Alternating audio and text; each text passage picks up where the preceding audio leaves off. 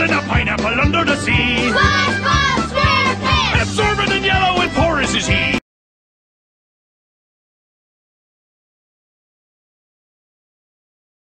Hey everybody, this is 22 Tiger Dude. I am here to review the SpongeBob episode Buried in Time, requested by Riley Bevan and Pinhead1105. And I'm here with my guest star, One Young Swag 5. Hola, amigos.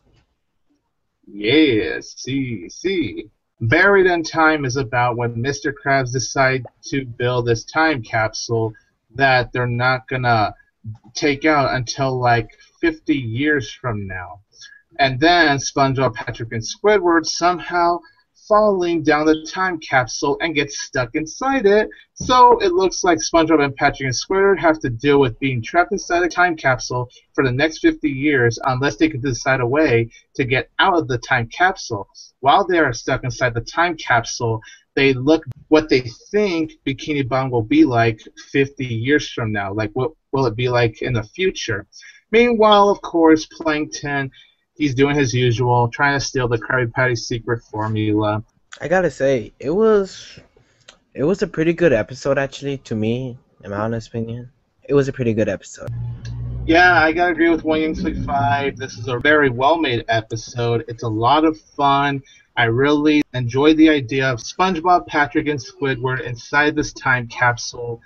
SpongeBob and Patrick doing the usual annoy Squidward. There was a hilarious scene where they use shaving cream and Squidward looks like Santa Claus with the beard. It was really funny. I also enjoyed SpongeBob, Patrick, and Squidward's point of view of what Bikini Bottom will be like 50 years from now. So all three of them, they have a funny interpretation of it. Well, Patrick's interpretation of it is actually right now. Plankton, as for that, that the plot really had to be in this episode. No, it didn't. But I mean, I'll be honest. I enjoyed Plankton's episode, even if it was kind of pointless. He, it was really funny, especially with what happened at the end. He technically got a Krabby Patty formula. Technically, he did, but let's just say he has to he's going to be stuck in the toilet for a long time. That's the best way to put what happened at the end.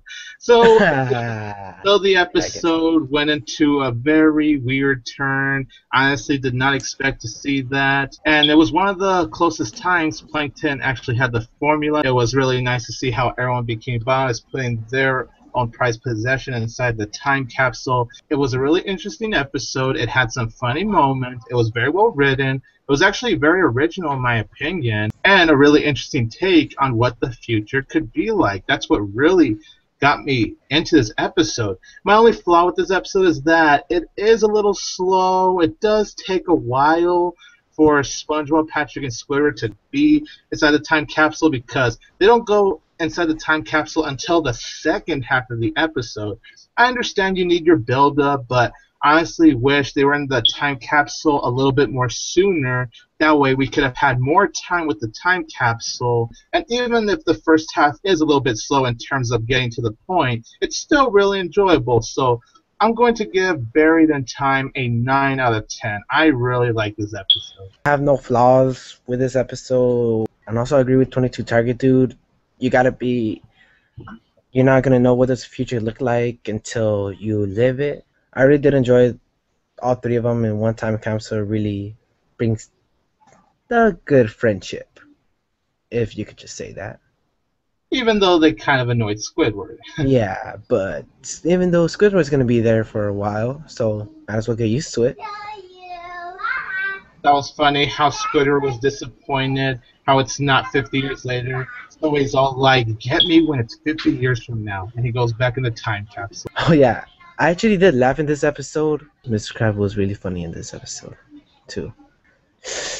Damn. Can't believe Plankton's gonna be in the toilet for a while, but. make sure. Oh, it's good. Make sure. It's gonna, make sure you guys don't drop no dingalos in there. Karen, I think I'm gonna need more prunes. So anyway, I give this. I really did enjoy it. You know, I give this episode a 10 out of 10. Please check out One Young Slick Five's channel. I will leave a link in the description below. Follow him on Twitter. Follow him on Instagram. And find me on Facebook. One Young Swag 5 is signing off.